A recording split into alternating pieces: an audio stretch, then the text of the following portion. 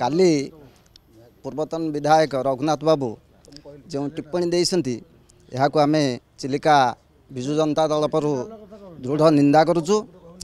ଆମର ସାଂଗଠନିକ ସମ୍ପାଦକ ଶ୍ରୀଯୁକ୍ତ ବବି ଦାସ ବବି ଭାଇ ସମସ୍ତଙ୍କର ପ୍ରିୟ ବବି ଭାଇ ମାନସ ମଙ୍ଗରାଜ ଯିଏ ଅଛନ୍ତି ଆମର ରାଜ୍ୟସଭା ସାଂସଦ ମାନସ ଭାଇ ଉଭୟେ ତାଙ୍କୁ ଟିକେଟ୍ ଦେବାରେ ବହୁ ସହଯୋଗ କରିଛନ୍ତି। କିନ୍ତୁ ଆଜି ସେ ଟିକେଟ୍ ପାଇଲା ପରେ ହାରିଗଲେ।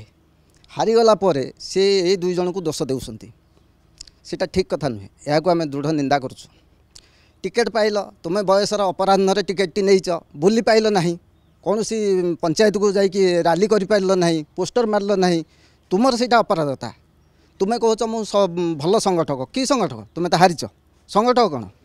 ତୁମେ ଯେଉଁ ଗାତ ଖୋଳିଥିଲ ସେଇ ଗାତରେ ତୁମେ ପଡ଼ିଛ ଦୁଇ ହଜାର ବାଇଶ ମସିହାରେ କୋଡ଼ିଏଟି ସରପଞ୍ଚକୁ ତୁମେ ଦୁଇ ବ୍ଲକରେ ହରାଇ ଦେଇଛ ଗୋଟିଏ ସମିତି ସଭ୍ୟ ଆମର ଜିତିଥିଲେ ଆମ ଦଳର ସିଏ।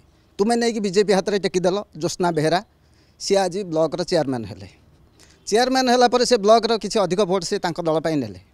ତୁମେ ଯେଉଁ ଗାତ ଖୋଳିଲ ସେଇ ଗାତରେ ପଡ଼ିଲ ତୁମେ ଅନ୍ୟକୁ ଦୋଷ ଦେବା ଦରକାର ନାହିଁ। ତୁମେ ଦଳୀୟ କାର୍ଯ୍ୟକ୍ରମରୁ ନିବୃତ୍ତ ରୁହ ଏସବୁ ଯେଉଁ କଥା କହୁଛ।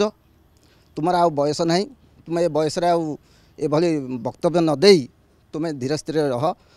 ଆଉ ମୁଁ ମ- ଆମର ମାନ୍ୟବର ସଭାପତି ଶ୍ରୀଯୁକ୍ତ ନବୀନ ପଟ୍ଟନାୟକଙ୍କୁ ଅନୁରୋଧ କରୁଛି ଏଭଳି ବୟାନବାଜି କରୁଥିବା ବ୍ୟକ୍ତିଙ୍କୁ ଦଳରୁ ତୁରନ୍ତ ସସ୍ପେଣ୍ଡ କରାଯାଉ। ଇଏ ନହେଲେ ଆଗାମୀ ପଞ୍ଚାୟତ ନିର୍ବାଚନରେ ଏ ଦଳଟାକୁ ବହୁତ କ୍ଷତିଗ୍ରସ୍ତ କରିଦେବେ।